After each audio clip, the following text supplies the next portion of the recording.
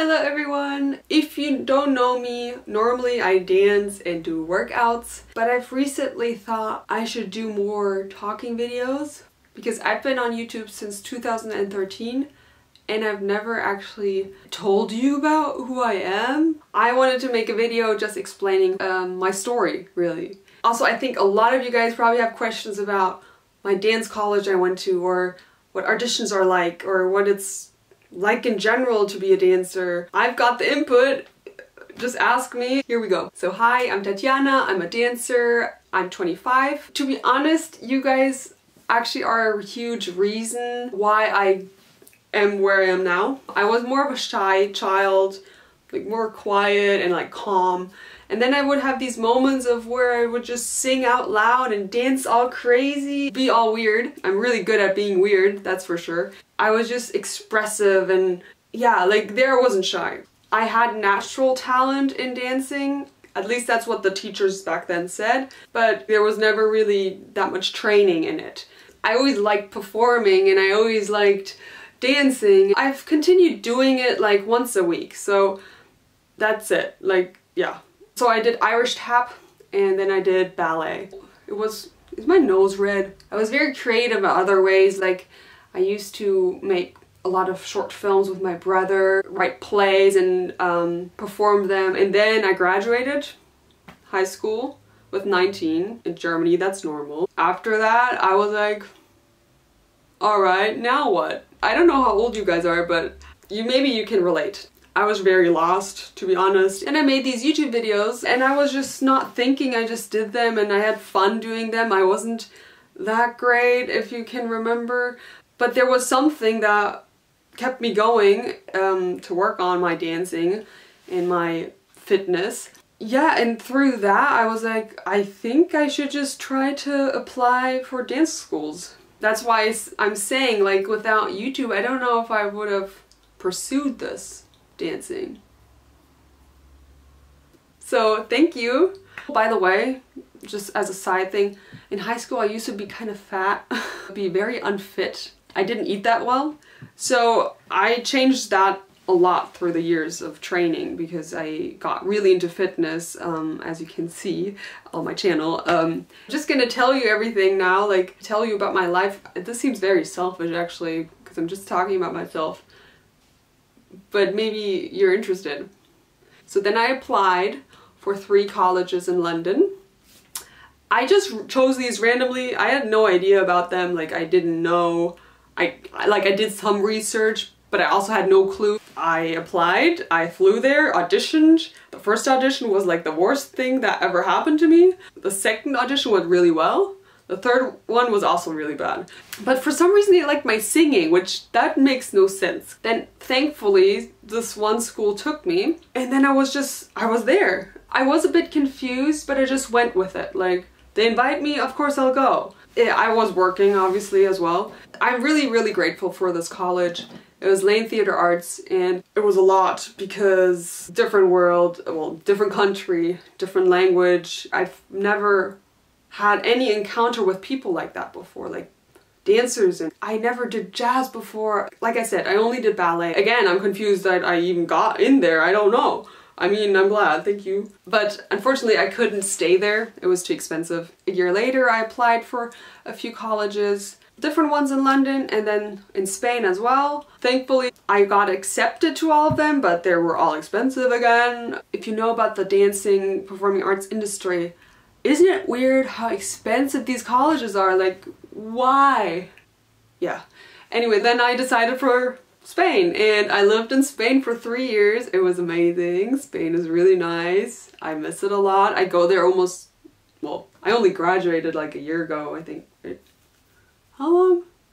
A year and a half. I actually kind of want to go back there now, but mm. it was a great experience. I kept doing YouTube sad part now is um, I have filmed so many videos and they're not edited. I like the act of filming, I like the act of creating and performing, but not editing. I am I can do it for sure. Yeah, if I ever upload a lot of videos suddenly and I look like much younger, yeah, that's probably from three years ago. But like I put a lot of effort into these so I should upload them at some point. I liked Spain a lot, that was nice. Um, they have actors, singers, dancers, musical theater artists, like a lot of different people there, a variety of different nationalities. And then I graduated and then I was back home. Now the life of an artist starts. If you guys are artists, you know it's hard. I mean, any job is hard, but this is all I know. Yeah, you're back home and you're like, okay, great. I got this amazing degree in dance. Now what?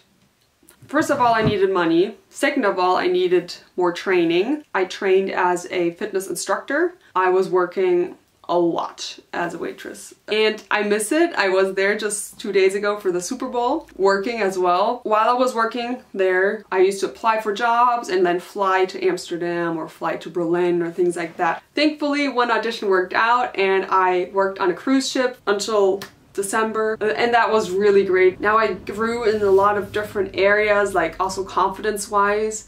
I think that's the most important thing actually to have experience because that gives you confidence. Without experience, you're always doubting yourself, at least that's how I work. But with experience, you're like, no, I've done this before. I should know how this works.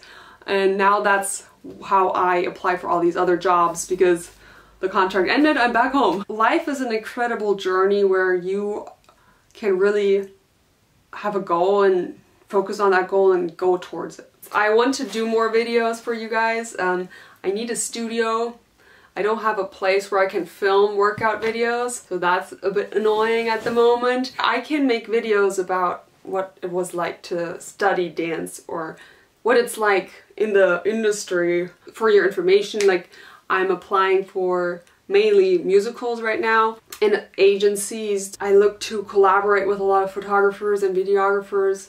I do travel a lot now, but it's a very strange period of my life. Uh, it's it's a lot of work at the moment. You're your own manager. You manage your life. So if you're not doing it, no one will like force you to go to these auditions, force you to fly there, travel there, do this. You're just on your own all the time. And if you don't want to wake up at this time, if you don't want to stretch now, if you don't want to work out now, the, then you will see the results later and then you're like, oh, great, I should have done this you have to have a lot of self-discipline. To be honest, I know that it's such a valuable time at the moment for me or for you guys if you're in this period of life where you're investing so much time and money into something but you're not getting anything back.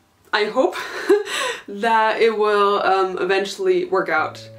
And I think this is like a test. It strengthens you and you become aware of what you really want to do, who you are as an individual and what your goals are, where you want to go and what you want to do really. I also want to create something. I want to have a message and like tell the message but in an artistic way. What's my artistic style? I'm not sure yet. I need to focus on networking. I need to know people. I'm focusing on Germany at the moment because um, that narrows it down a little bit. But Germany is huge, so mm. in the end, I'm so, so grateful for choosing this route that I chose. I can just only encourage you guys to also fight. In life you can make choices. The results of those choices come back. If you choose to stay safe, if you choose to say no to opportunities, if the reason for you doing something is fear or a negative emotion, I think that's scary because you create a wall around you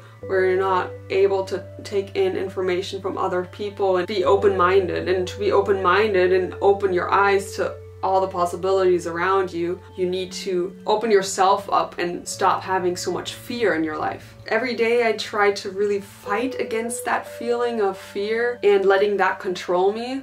And I know how tempting it is because only now I'm kind of getting the hang of it. Every person has different obstacles in their life, but at some point to reach like the next level in life and in your career, you need to face those obstacles. It's like you run against a wall and you're like, I can't get any go any further. And that's the point where you, okay, I need to actually look at my problems now and work on them in order to move forward or else you get stuck.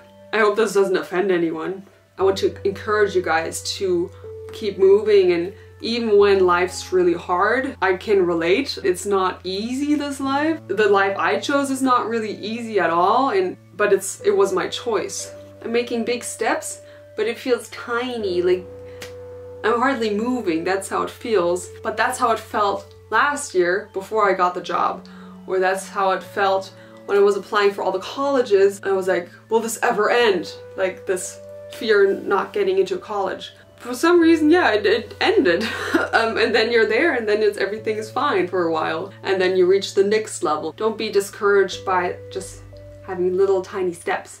Alright guys, I'm gonna end this video here. Let me know if you have questions. I wish you all the best keep moving forward and I really hope it works out that I can find a studio that I can film in. We're in this together, in this life and in the struggle of fighting to succeed at something and being happy. I hope you feel like comfortable sharing things here and we can encourage each other and help each other out and support each other. I'll see you next time and have a nice day. Bye!